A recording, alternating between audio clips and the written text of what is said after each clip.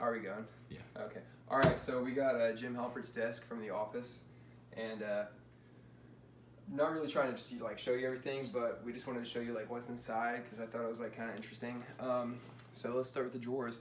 Bottom drawer, absolutely nothing. Okay. Second drawer, uh, there's this bar that I found in the bottom of the desk. I put that in there and forgot about it until now. But oh, I thought it was gonna be nothing. No, there's a few things from the show. Um, I think the most interesting is like this little notebook right here.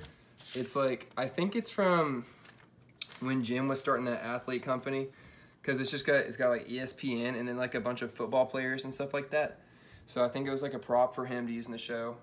Um, a peanut butter cup, not Reese's, and then a piece of juicy fruit was in here. It's really hard.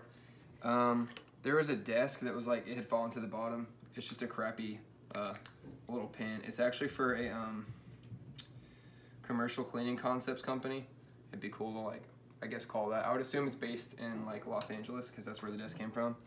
Some paper clips, you know, gotta have those. Uh, haven't popped this in yet. Might see if there's anything interesting. There's just a DVD um, that says "Do not duplicate." And I'm not really sure what that was about. Um, if you don't believe this is Jim's desk, this is the certificate of authenticity. I put this in here. It wasn't in there.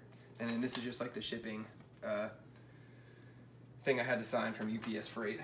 And then last thing that was in here was a copy of Vanity Fair from January 2013. So yeah, if you're ever wondering where Jim's desk is, uh, it's right here, and these are what it had left to its name.